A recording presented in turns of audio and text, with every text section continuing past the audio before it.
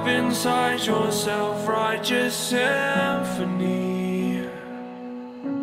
I would rather let this go Than to bring it on